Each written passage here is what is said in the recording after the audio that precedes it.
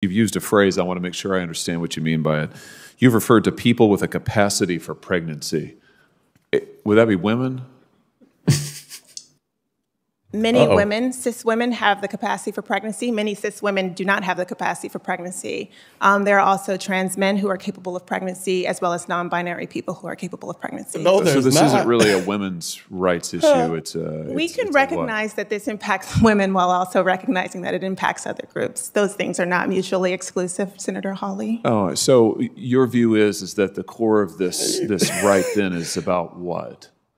So um, I want to recognize that your line of questioning um, is transphobic, um, and it opens up trans people to violence by not recognizing that. Wow, you're saying that I'm opening up people to violence by asking whether or not women are the folks who can have pregnancies? Do you believe that there, uh, men can get pregnant?